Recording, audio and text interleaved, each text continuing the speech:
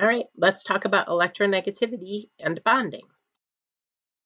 So what is electronegativity? It's the tendency of an atom to attract electrons in a bond. Remember, this is what electronegativity looks like. We talked about it before, fluorine having the highest, and down here, francium having the lowest. Where are electronegativity values found? On table S. So good thing, you don't have to memorize them. So when we subtract electronegativity values, it gives us some information about the type of bond. Okay, so and here's our general guideline. If when you subtract those electronegativities, your answer is between 0 and 0.4, it's going to be nonpolar. Your answer is between 0.4 and 1.7, your answer is going to be polar bond. And if it is greater than 1.7, it's going to be an ionic bond. But it's important to note it's kind of more of a continuum. So it's shifting, like things that become more ionic or less ionic or more polar or less polar.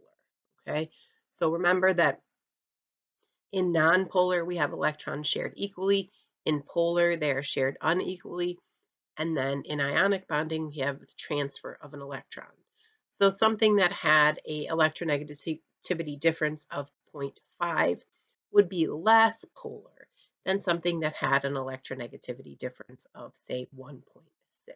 Okay, so remember it's like a continuum more so than a hard fast rule. All right, so let's look at an, a bond between hydrogen and oxygen. So we're going to look up the electronegativities and we're going to subtract them. It doesn't really matter in what order you do it, just subtract the numbers. And we're going to get 1.2. Well, that means it's a polar covalent bond. What about O and F? Well, let's do the subtraction. And we get 0.6. This one is also polar covalent, but notice the difference was a little less, so this is going to be less polar. And remember, in polar covalent, those electrons are shared not equally. So it's going to be, the electrons are going to be pulled toward the um, atom that has a higher electronegativity, in this case, fluorine. What about between sodium and oxygen? Well, look up those electronegativities, subtract them. This time we get ionic, greater than 1.7.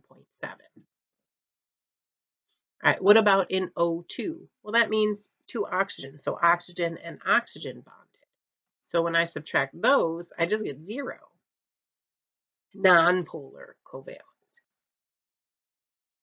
And then which is more polar, which bond? So for this one, I'm going to have to do the subtraction for both. And now look at the answers. Which one is the bigger answer? 1.2. So that is more polar. which is less polar? Do the same thing. Do the subtractions. Well, which one is smaller? the bond uh, between P and H then is less polar because its electronegativity difference is smaller. And there you have it, electronegativity and bonding. I hope you learned something new today.